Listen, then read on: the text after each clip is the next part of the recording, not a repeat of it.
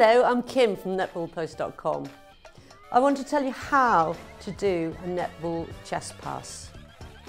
Now you'll receive the ball during the game and you'll have both hands on the ball.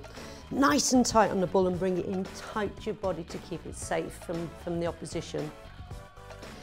You will move forward on the foot, which is more likely you prefer to move forward. You're likely to be your stronger side.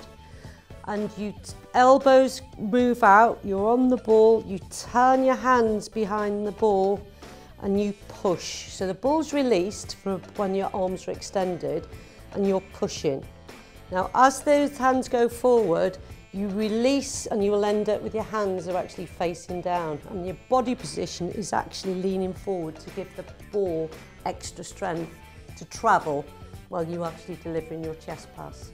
And that is how you do a netball chest pass.